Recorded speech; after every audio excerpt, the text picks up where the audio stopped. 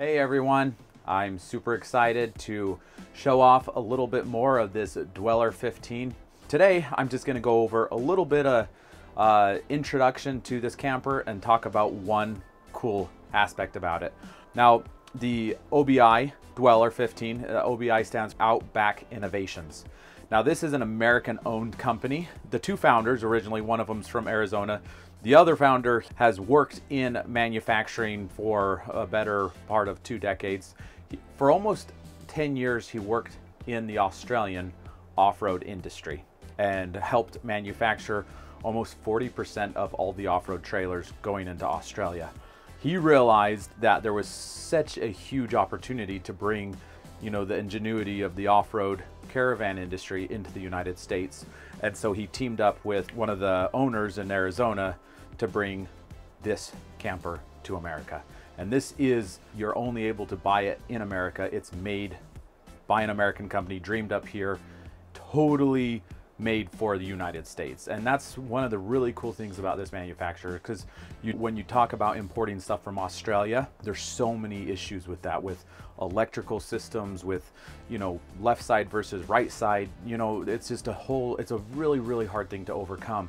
And they've done a really good job on making these campers for, designed and built for Americans here. But with that ingenuity that comes from Australia. One of the things that I wanted to talk to today was just a little kitchen segment here. Right here, we do have this, this unit has a full outside kitchen, fridge, you have your hot and cold sink, grill. Now, for those mornings where maybe you don't want to go outside and cook outside, you can bring the cooking inside here. And so we have this nice little stove right here. So if it's too cold and you want to cook up some tea or coffee or some eggs, you can come in here do this. You have a nice little hot pot right here. You could heat up your water. You do have an outlet right here that's 120 and this will work off grid so you can use it on your Renogy inverter system. It's a 3000 peak, 2000 continuous inverter. So you could run this for a while. Now it does come stock with three AGM 100 amp hour batteries. Now here at RVs of America, we can upgrade your units to uh, more superior lithium and that will give you more capability to run even more appliances here. But cool little ideas of what you can do in a kitchen with the new Dweller 15 by setting it up this way. So hopefully you've enjoyed this little video. Like I said, it's a short little video. We didn't want to go into tons of detail. Thank you so much for watching.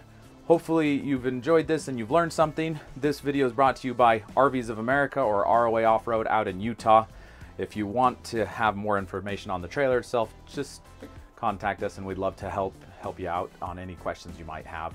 Uh, you can make any comments below too and we will respond and answer those. Have a wonderful day.